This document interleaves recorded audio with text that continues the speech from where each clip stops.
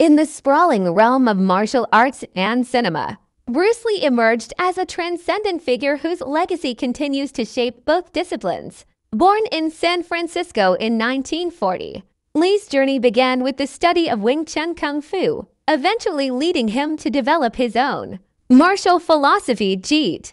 Kune Do, The Dragon's Legacy chronicles Bruce Lee's meteoric rise to fame. From his breakthrough role as Kato in The Green Hornet to his iconic performances in films like Enter the Dragon, Lee's fusion of martial prowess, philosophy, and charisma transformed him into a global cultural phenomenon transcending racial and cultural boundaries.